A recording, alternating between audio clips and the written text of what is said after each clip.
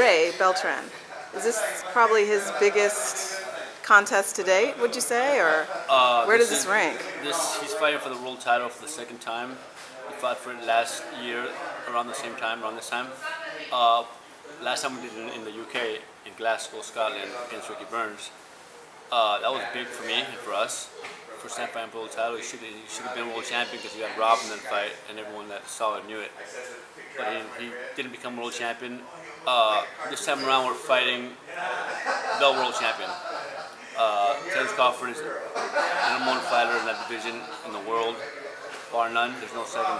There's no. There's no confusion there. And um, this time it seems more real because we're fighting in America. We're fighting on HBO. Everyone's in the sea, and we're fighting on a much bigger uh, platform now where uh, more people are involved. So does that change things for you? It changes things a lot because uh, now everyone's gonna watch it. Like we gotta be our best. Yeah. So I was talking to actually Terence Crawford. He's also admitted that really like Ray did get robbed, and so probably maybe there's a, some sour grapes in terms of maybe he should be the one that's coming into the the fight with the title, and also with the money that that brings. What would you say to that? I should I say Ray should be world champion right now. Ray, Bel, Ray Beltran should be world champion. Uh, he didn't he didn't get he didn't get it because of uh, for whatever reason. Crawford should be vying for the world title against Ray. Ray should be fighting at home or wherever. Which you know should be the. The table should be turned. Uh, Crawford should be fighting. He'd be challenging for the world title instead of being a world champion. Uh, and things should be in reverse. You know, money and what have not. But you know, what do you do? Do the best you can and uh, go with that. Well, when I was talking to Ray about it, he seems like pretty much like he's just like you know it is what it is. I don't even think about it. Sounds like maybe you've given a little thought to it. We, we've, we've already got past that. You know, a couple months of, uh, of, uh, of suffering and, and understanding, trying to understand the whole political theme and what, how it works, uh, adjusting to the circumstances and uh, getting past it. Now it's just uh, now it's just going forward with the, with the circumstances and trying to get the world title uh, for, for, again new. So last time I spoke to you, you said that there was something unique about Ray in terms of with his conditioning. It's almost like he's getting younger. Is that still, would you say, the No the doubt, case? he's uh, he's just, he's working strength conditioning with Rob Garcia now, and his age process is reversing. He's like uh, for a 33-year-old fighter, he's he's 29, 28. Uh, he's getting stronger because uh, he's never done it before. So his body is uh, adjusting and uh, it's still like learning. It's like a brain, you know, taking information, getting smarter. His physical intelligence is getting smarter. So he's gonna be able to do more, be smarter when he gets in the fight uh, physically. I wouldn't think that there was much more for him to continue to learn. I mean, because he's a pretty seasoned veteran now.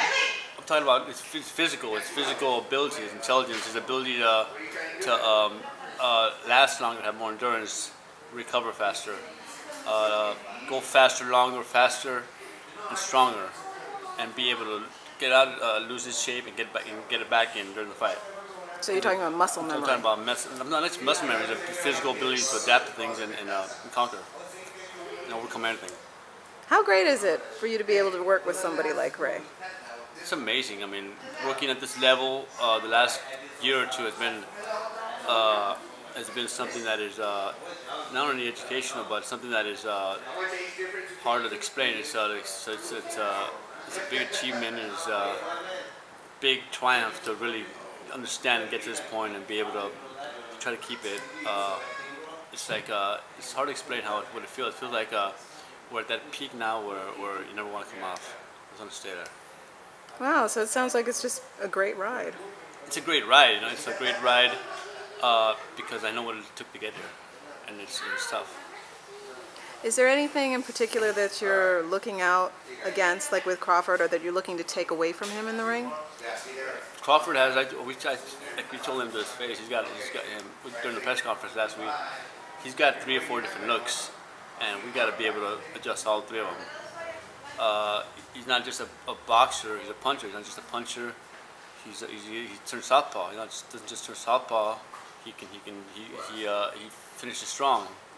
You know, he starts he starts smart.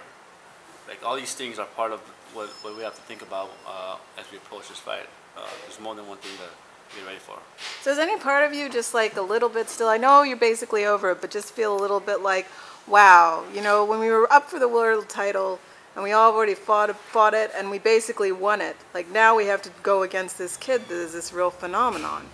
Well, going against Crawford is kind of a good thing because uh, although you'd like to get the title and keep it and have challenge people challenge you for it, if we can beat Crawford now at this point of his in our career, we're we're at, we're at the level now. We're, we're, we're on the on the A team. You know, we're up there with uh, fighting guys reaching the next level. The A plus guys, Manny Pacquiao and and Mayweather and, and all the top fighters in those divisions Andre Ward, we can compete at that level now. So uh, it's not just fighting for the title; it's fighting for positioning on a, on a higher scale, which is the important part.